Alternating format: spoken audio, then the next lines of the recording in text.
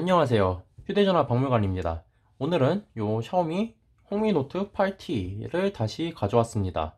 요거를 지금 거의 3년 지난 시점에서 왜 갖고 왔냐 하면은 이번에 보여드릴 거는 안드로이드 11의 원, 원UI래.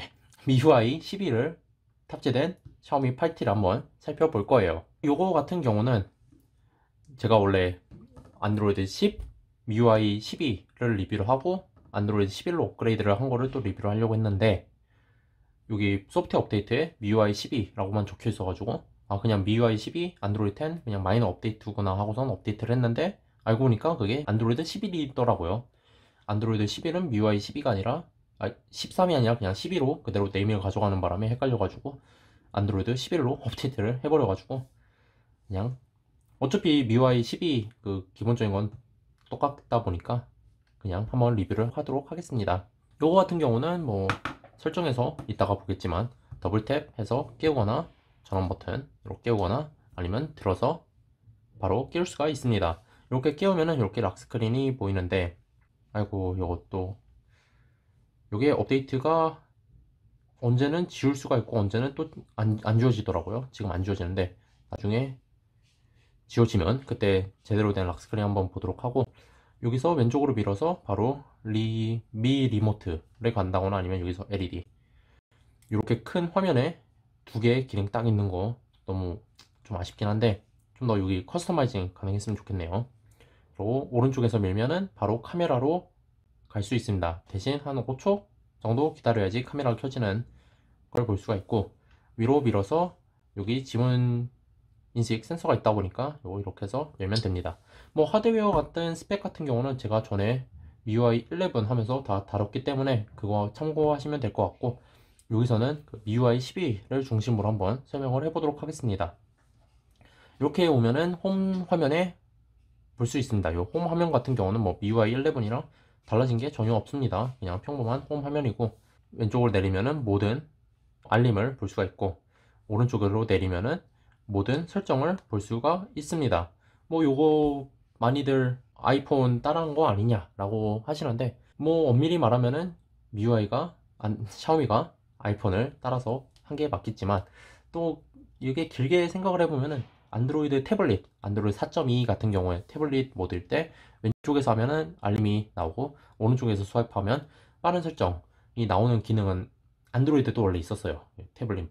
근데 5.0 롤리팝 가면서 그 기능이 사라졌는데 그걸 이제 애플이 얼른 아이폰 10 때 요거 노치 생기면서 주워온 거죠.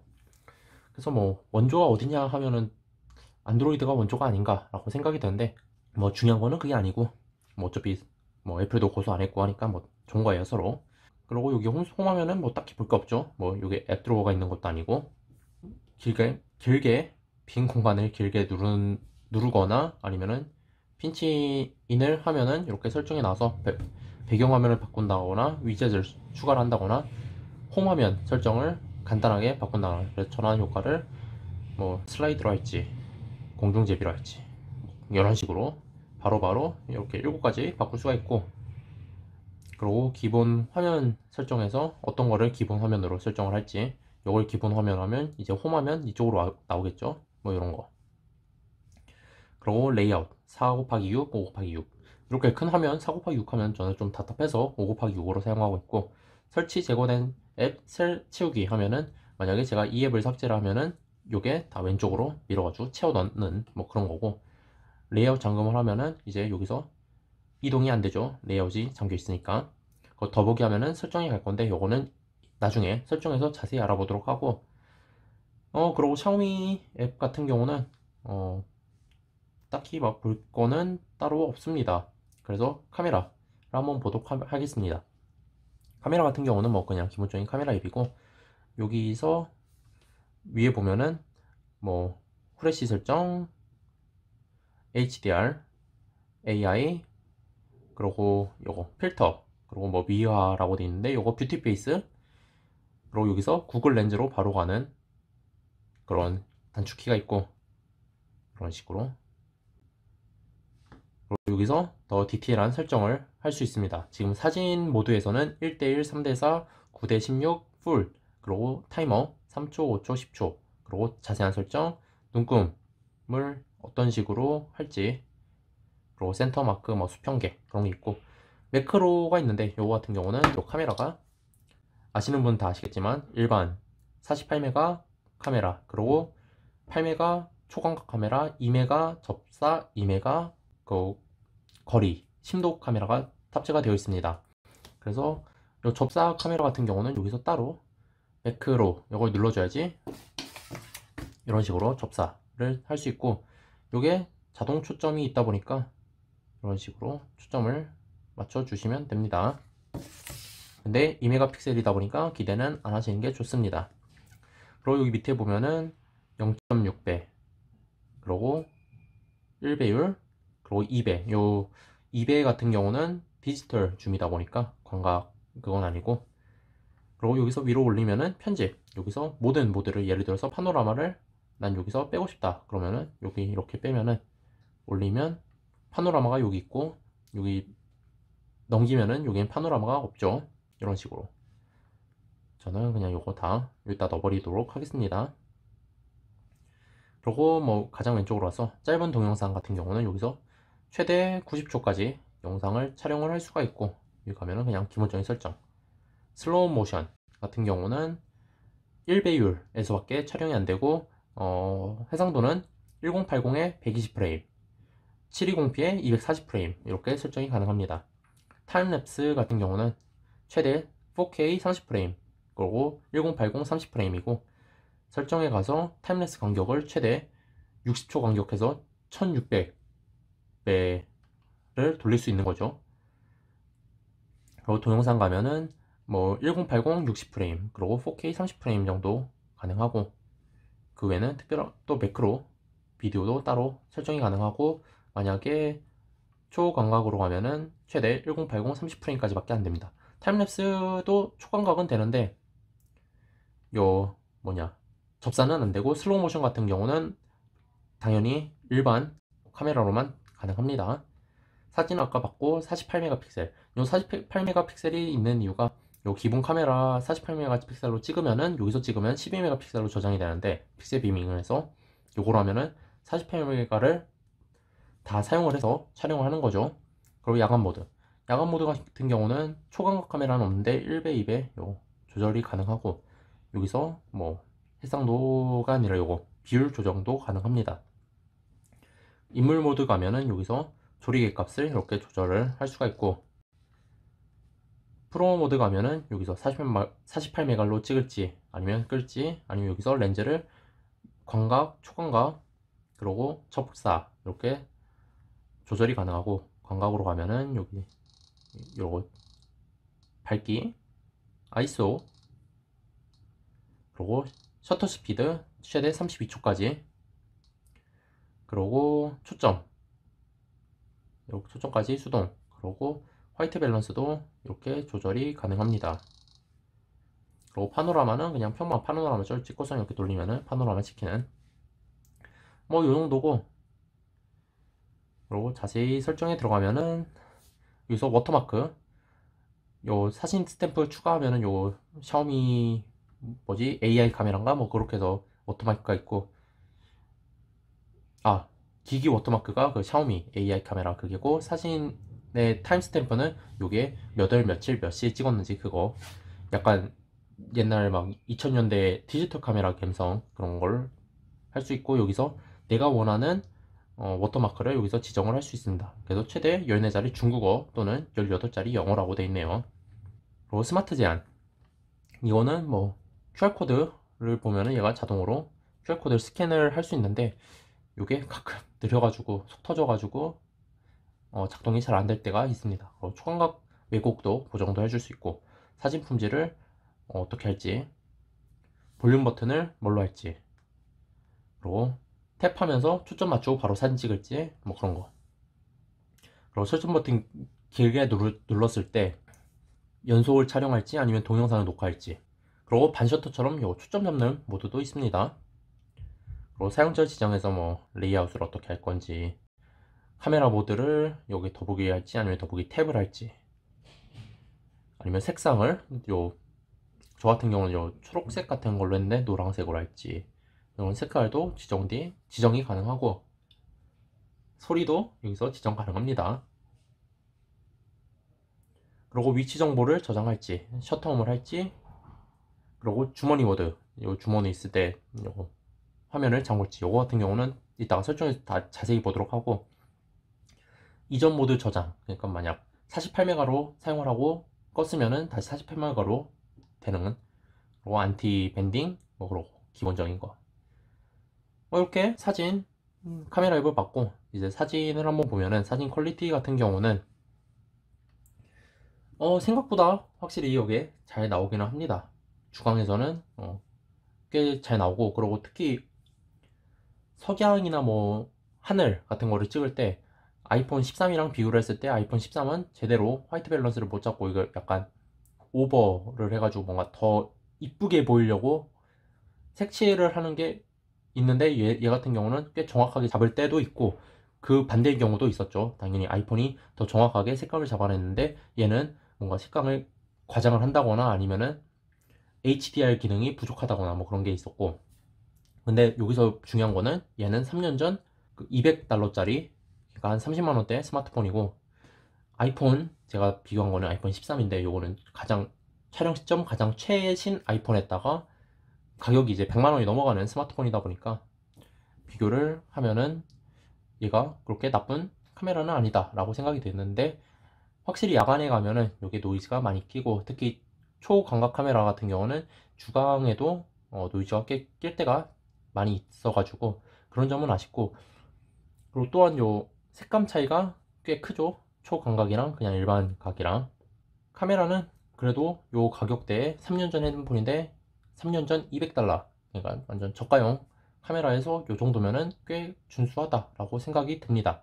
그리고 이제 설정에 가면은 모든 재밌는 그런 기능들을 볼 수 있죠. 설정에 가면은 약간 이게 One UI 비슷하게 이렇게 올라갔다가 내려갔다 뭐 그런 게 있는데 뭐 그렇고.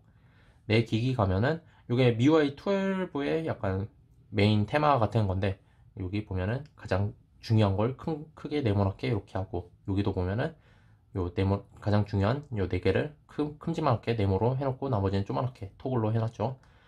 요것도 그 중요한 건 크게 작은 거는 리스트로. 이런 식으로 꾸며놓고 또 여기 저장 용량 보면 이렇게 하면은 이렇게 기울어지고 요 물 차오르는 것처럼. 요거는 이런 재밌는 애니메이션은 저는 매우 좋아합니다 MIUI 버전 가면은 지금 보면은 MIUI 12.0. 3 그리고 안정된 stable 모드인데 요거는 이따 얘기하도록 하고 지금은 12.5.2 업데이트가 있는데 요거는 제가 요 리뷰를 다 끝 마치고 업데이트를 한 다음에 사용을 한번 해보도록 하겠습니다 그리고 요 기기 이름 가서 여기서 뭐 원하는 대로 기기 이름을 변경을 할 수가 있고 저장 용량은 지금 가면은 요게 이렇게 해서 뭐 확보도 할 수 있고 여기서 뭐 어떤 게 얼마나 사용하는지 기다리면은 요게 얘가 지금 계산을 해가지고 나오겠죠. 또 여기 문제가 eMMC라 이런 계산하는 게 좀 느립니다. 이런 식으로. 그래서 현재 시스템이 12기가 정도 먹고 있네요. 그러니까 64기가에도 12기가를 먹으니까 대략 한 52기가 정도 사용이 가능합니다. MIUI 버전, 안드로이드 버전 이렇게 볼 수가 있고. 안드로이드 11 그러고 안드로이드 보안 업데이트는 2021년 10월 1일인데 요거 같은 경우는 MIUI 12.0.3 버전에서 그거니까 업데이트를 하면은 요것도 같이 업데이트가 될 거예요. 전체 사양 가면은 여기서 뭐 램, CPU 그런 기본적인 사양을 볼 수가 있고 뭐 그러고 여기서 뭐 백업 및 복구 그러고 뭐 공장 초기화를 한다거나 뭐 그런 인증서 뭐 그런 걸 볼 수가 있고 그리고 보안 상태 가면은 여기서 뭐 보안 업데이트, 뭐 구글 플레이 프로텍트 뭐 그런 거 확인을 할 수가 있습니다. 모바일 네트워크 가면은 요 기기는 dual SIM이기 때문에 SIM 1, SIM 2인데 지금 SIM 2는 SIM카드가 없음으로 나오고 만약 SIM카드가 두 개가 꽂혀 있으면은 어떤 SIM카드를 통화 기본으로 할지 어떤 거를 데이터 카드로 쓸지 설정이 가능합니다. 뭐 와이파이 같은 경우도 다시 한번 MIUI 12 메인 테마처럼 현재 연결된 거는 가장 크게 네모나게 돼 있고 그 외에는 리스트로 되어 볼 수 있고 휴대용 핫스팟, VPN, 연결 및 공유 여기 가면은 이제 NFC 요게 홍미노트 8 같은 경우는 NFC가 없는데 홍미노트 8T는 NFC가 있습니다. 그래서 MIUI 11 때는 요 NFC로 안드로이드 빔 같은 안드로이드 기기 딱 해서 뭐 사진이나 그런 거 전송하는 그런 기능이 있었는데 요게 MIUI 11로 업데이트 되면서 안드로이드 10에도 없었었는지 제가 정확히 기억은 안 나는데 요게 없어졌습니다. 대신 요 Nearby Share로 바뀌었죠. 요 Nearby Share는 약간 안드로이드판 AirDrop 같은 건데 요 안드로이드 빔 후속작으로 나온 그런 거라고 생각하면 됩니다. 그리고 여러 사용자 해서 여기서 뭐 사용자를 추가를 할 수가 있습니다. 그러면은 완전 구글 어카운트도 완전 다른 구글 계정도 다른 거 쓰고 앱도 여기는 인스타그램이 설치되었어도 여기는 인스타그램을 내가 설치를 안 하면은 설치가 안 돼 있고 뭐 그런 식으로 완전 다른 환경으로 쓸 수 있게 돼 있고 잠금 화면 가면은 여기서 잠금 화면 그 1분 뒤에 잠금 화면을 화면을 끌지 그 설정인데 절전으로 돼 있네요. 들어올려 깨우기 요건 아까 처음에 봤다시피 들어오셔 깨운다거나 더블탭해서 깨우고 더블탭해서 끼우, 끄고 알림을 위해 잠금 화면 깨우기라고 좀 어색한 번역이 되는데 알림이 오면은 잠금화면 요거 화면을 켜가지고 알림이 왔다고 보여주는 건데 저는 귀찮아가지고 꺼놨고 요 시계 포맷 요거 같은 경우는 아까 업, 업데이트 때문에 제대로 안 보여 못 봤는데 요걸 내가 이런 식으로 선택이 가능합니다. 그 중에 요, 요게 가장 어, 개성 있고 어, 잘 만들어진 것 같죠? 그래서 저는 이걸로 사용하고 있고 잠금화면 소유자 정보에서 여기서 뭐 내 이름을 쓴다거나 아니면 뭐 다른 좌우명이라던가 뭐 분실 시 뭐 핸드폰 연락번호 같은 거를 적어 놓을 수 있겠죠? 어 그 다음 디스플레이. 디스플레이에서 뭐 dark mode, light mode 인데 연한 색상 모드라고 번역이 되어 있고 여기서 일몰 일출에 맞춰서 할지 아니면 사용자 지정으로 할지. 그리고 여기서 뭐 배, 배경 화면도 같이 조정을 할지 텍스트도 같이 조정할지 뭐 그런 설정. 그리고 밝기 추천해 가지고 자동 밝기 그리고 일반 밝기 모드가 있고 일광 모드라고 되어 있는데 이게 만약 수동 밝기로 해놨어도 너무 태양빛처럼 밝은 그런 거를 얘가 감지를 하면은 감지를 하면은 감지를 하면은 이런 식으로 수동 모드인데도 자동으로 밝기를 최대로 올려주는 그런 모드입니다.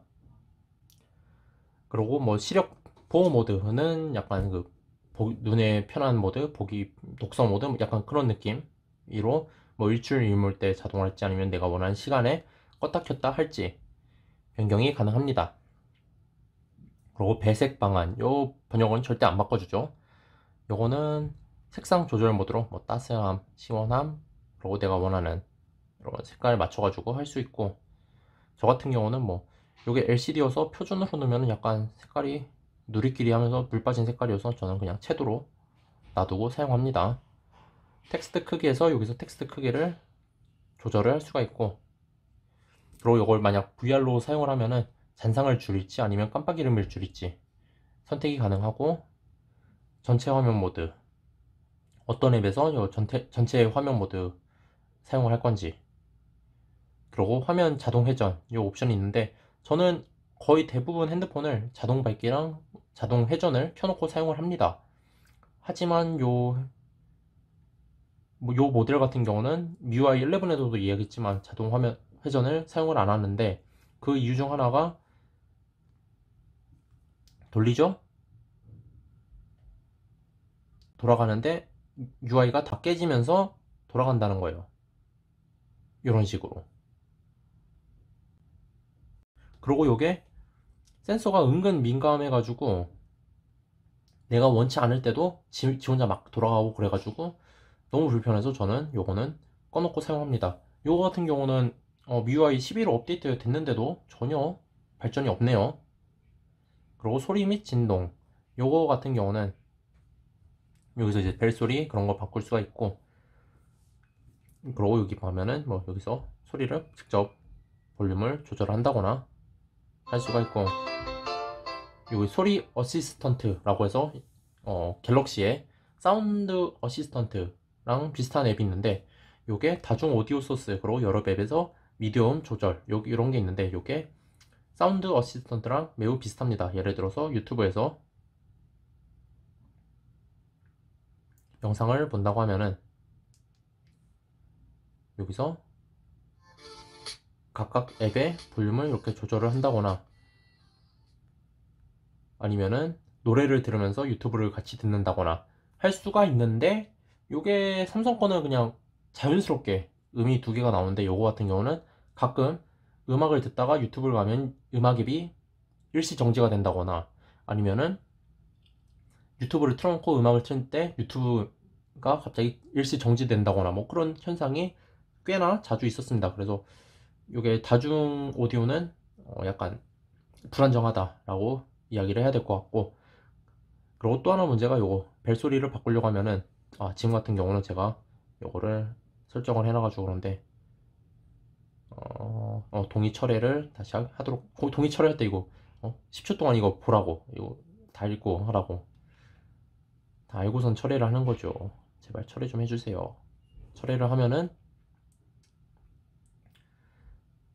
이제 권한을 철회하는 쭉 하면서 이제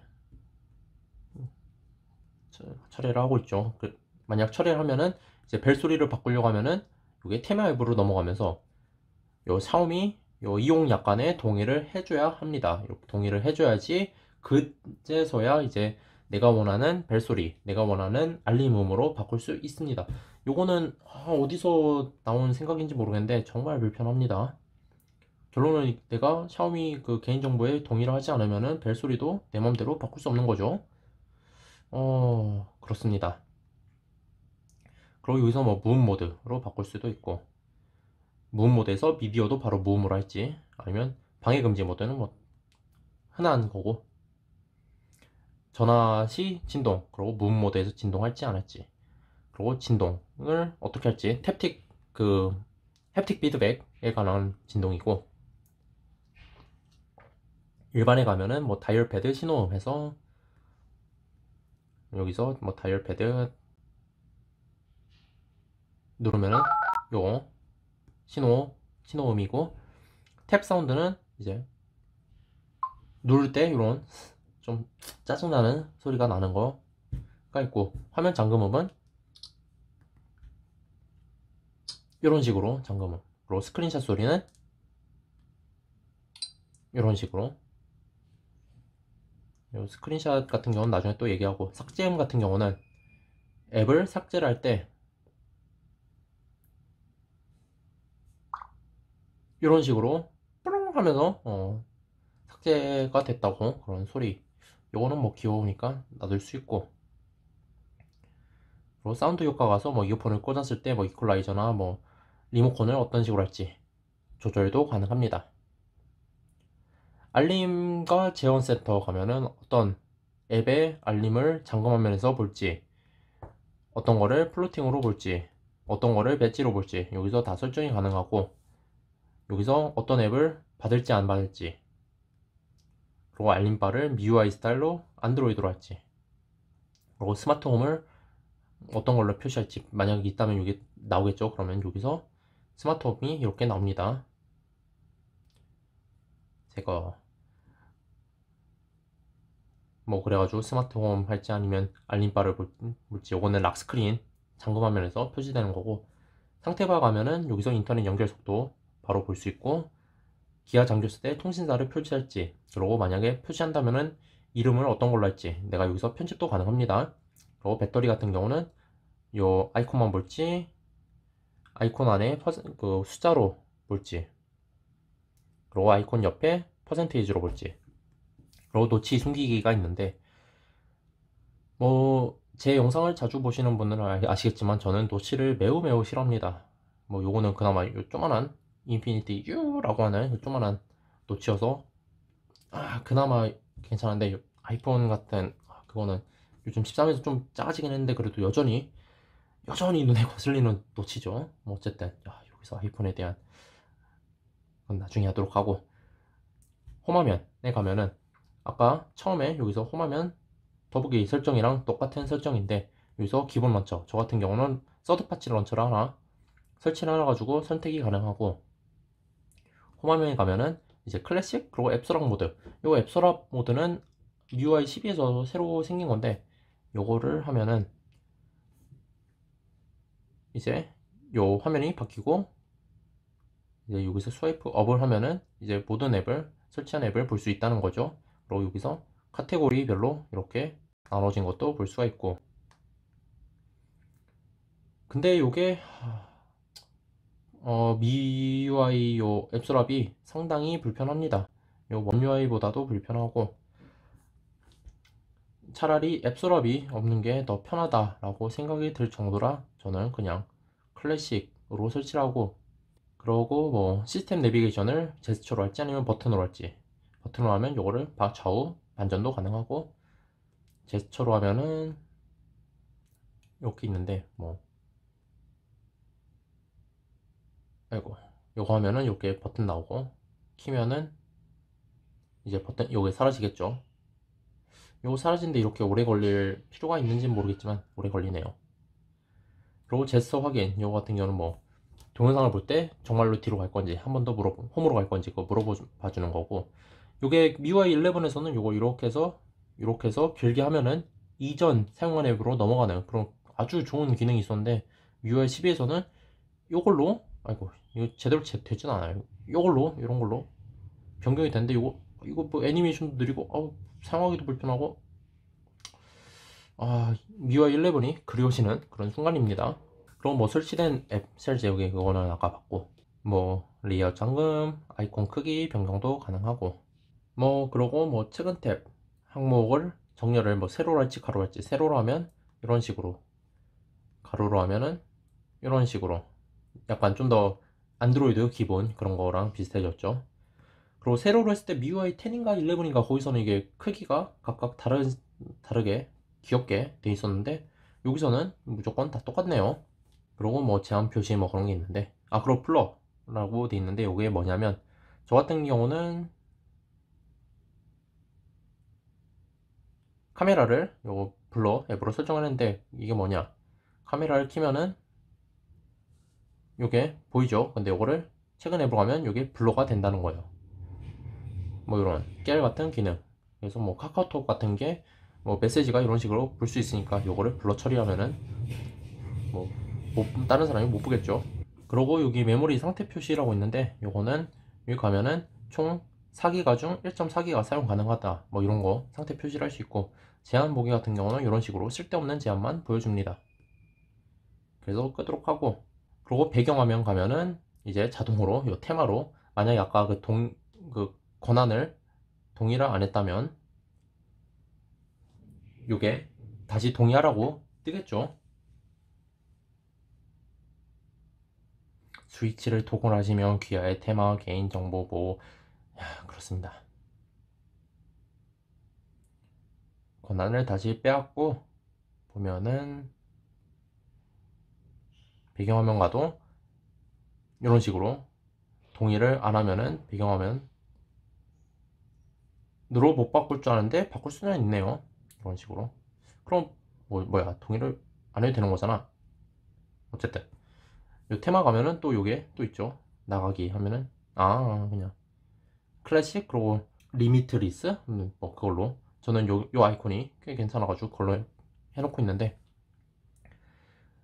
그리고 비밀번호 가면은 다시 한번 MIUI 12답게 요 큰, 중요한 거는 큼지막하게 네모나게 돼 있고 나머지는 리스트 그래서 뭐 지문, 얼굴, 블루투스 뭐 그렇게 다 있고.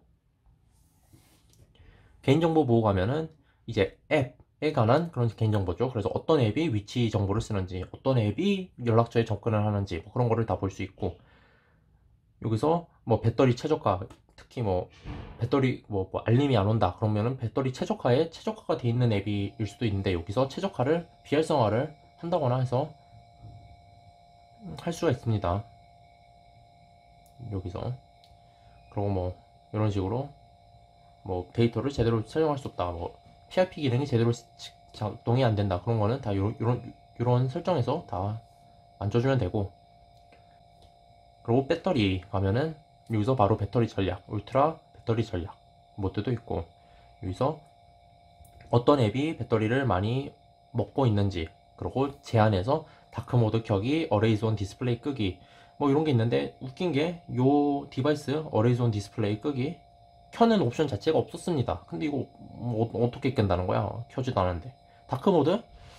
요거는 LCD라 어, OLED가 아닌데 dark모드가 켜면은 요게 얼마나 배터리가 왜 왜 시리가 대- 답하는지 모르겠지만 dark모드에서 배터리를 아낀다는 것 자체가 OLED 같은 경우는 검정색이면은 모든 소자가 꺼져 있는 거고 흰색이면은 모든 소자가 켜져 있는 거죠 RGB 그래서 모든 소자를 꺼놓으면은 당연히 배터리가 절약이 되겠죠. 근데 LCD 같은 경우는 검정색이든 흰색이든 요 뒤에 백라이트는 계속 켜져 있습니다. 그래서 배터리에는 그렇게 큰 영향이 없을 걸로 알고 있는데 뭐 이런 식으로 넣어놨고 제가 봤을 때는 그냥 상위 기종 막 미 11, 미 11 울트라 뭐 그런 거에서 그냥 그대로 코드를 여기다 그냥 갖다 써서 나타난 문제가 아닌가 라고 생각을 합니다.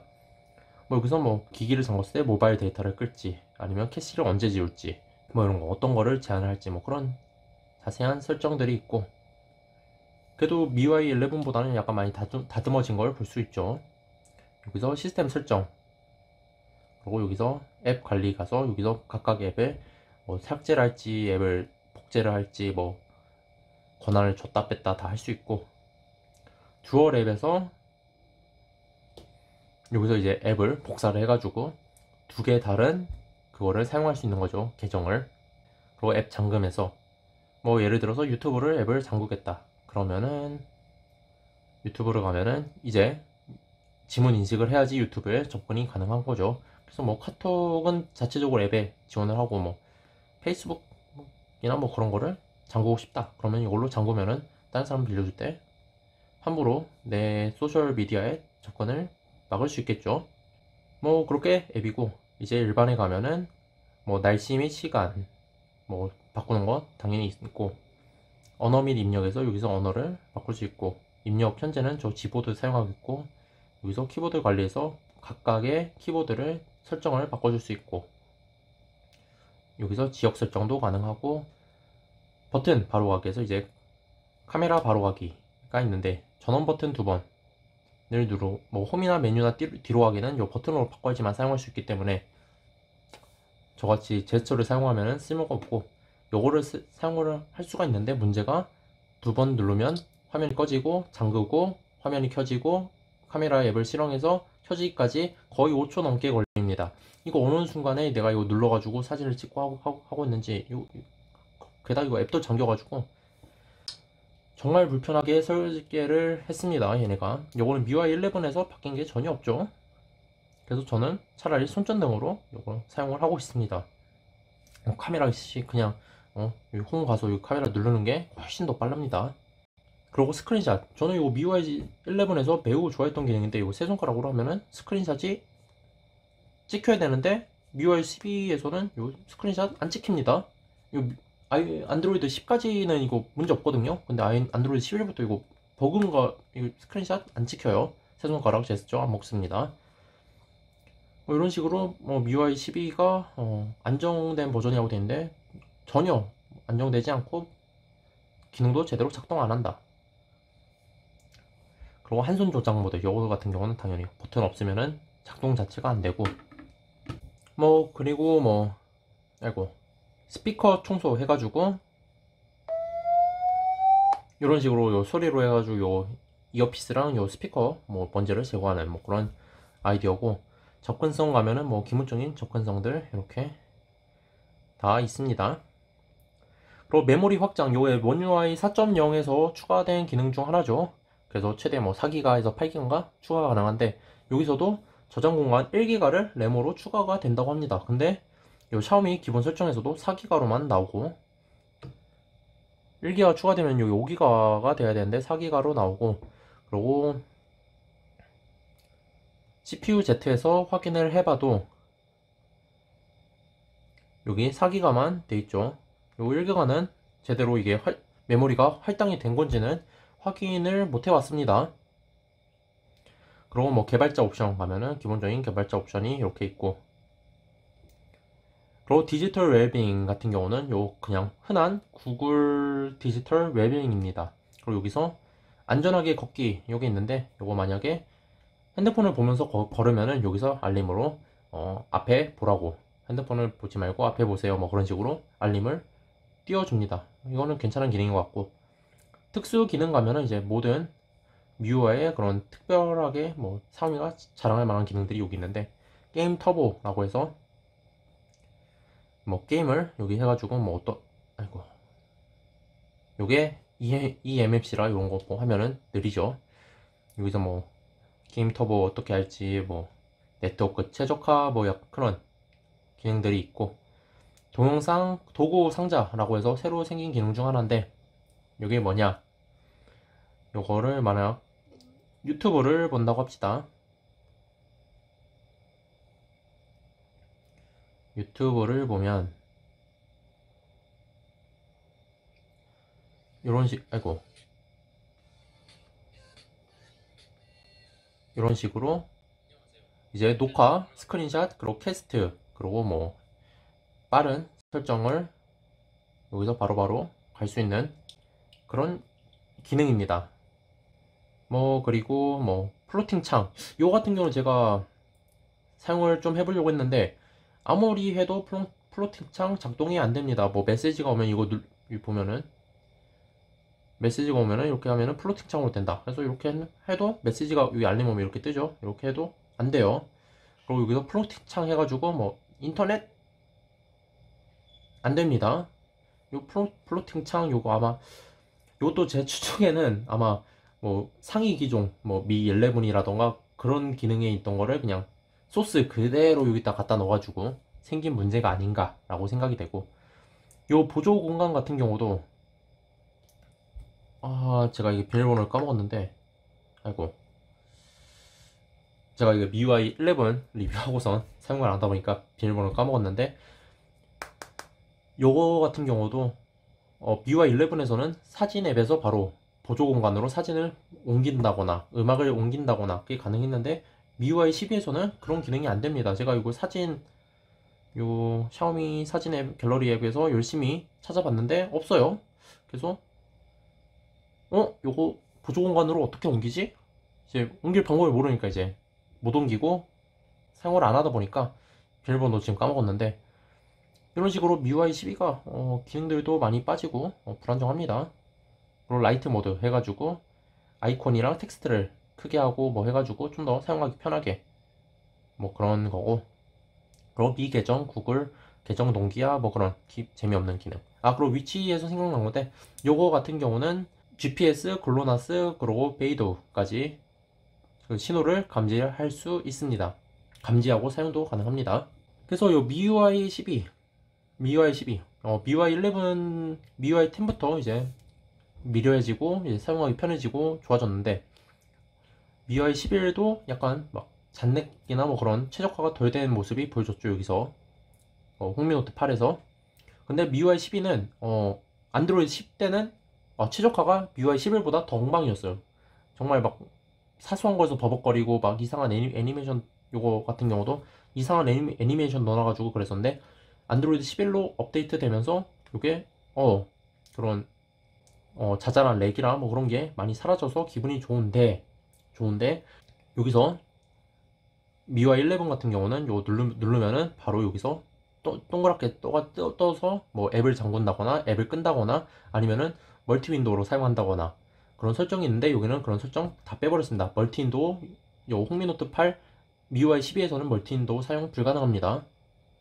요 multi window 같은 경우도 안드로이드 7 Nougat부터 기본으로 들어간 기능이고 삼성 같은 경우는 갤럭시 S3부터 들어가는 그런 기능인데 얘는 있던 기능을 MIUI 11에서 있던 기능을 12에서는 빼버렸습니다. 이거 뭐 하자는 건지 그리고 floating 창이라고 있는데 floating 창 제대로 작동 안 되고 그러고 뭐 요거 뭐 앱을 잠글 수가 있는데 예를 들어 카톡 같은 경우는 자주 사용하니까 앱을 잠글, 잠글 수 있죠 요 잠그는 것도 MIUI 11에서 잠궈놨던 거는 업데이트하고 나니까 그대로 잠겨 있는데 새로 잠글려고 하는데 MIUI 11은 여기서 요 누르면은 잠글 수 있는 그런 옵션이 있는데 얘는 없습니다. 그래서 요 잠그는 거 제가 설정 가서 이거 어떻게 했더라? 이거 잠글 때 한 번 다 잠궈버리고 요 앱 잠금은 아니에요. 이거 앱을 비밀번호 잠궈버리는 거고 요 클리어 안 되게 하는 게 요 권한인가 어디서? 뭐 잠궜던 것 같은데 자동 시작은 아니고 뭐 여기서 뭐 설정 안에서 설정에 들어가서 거기서 그 여기서 이제 이거 지웠을 때 안 지워지게끔 하는 그 설정을 켜줘야 되는데 이게 꽤나 복잡하고 사용하기 불편합니다. 내가 이거를 굳이 막이 설정을 다 뒤져가면서 이거 아 그러고 뭐 여기서 뭐 MIUI 12에서 뭐 앱스랍 생겼는데 앱스랍도 사용하기 불편하고 그냥 어쩔 수 없이 만든 듯한 그런 앱스랍이고 그래서 MIUI 12가 뭐 많이 뭐 따라왔다고는 하는데 이게 사용하기 편한가는 모르겠습니다.